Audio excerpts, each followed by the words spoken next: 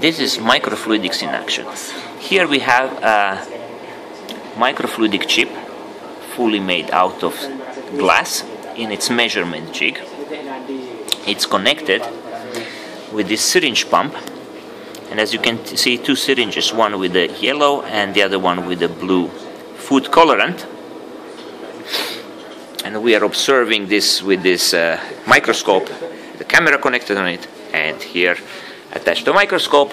And as you can see at low Reynolds numbers the two liquids are flowing laminarly next to each other with little interdiffusion at the flow rate that we have now which is 10 microliters per minute. So let's try to change this flow rate. Let's put 0.2 ah.